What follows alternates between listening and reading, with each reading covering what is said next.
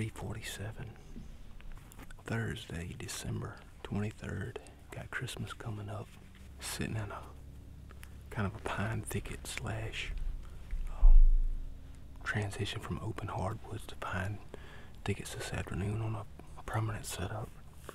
It's like 50, probably 58 degrees now. It's in the 30s last night. Supposed to get down to 20s tonight. So hopefully deer will be uh, be moving. It's uh, extra still this afternoon, but they're calling for a southeast wind, which is perfect. Coming straight from this way is perfect for this stand, but on the I don't like these still days, but um, don't know what we're gonna shoot this afternoon. We only got um, a couple days of the season left. We go out January 1st, so a doe may get it this afternoon. I don't know, but got to see some deer first. But that's it, I guess. Uh, I'm gonna get quiet and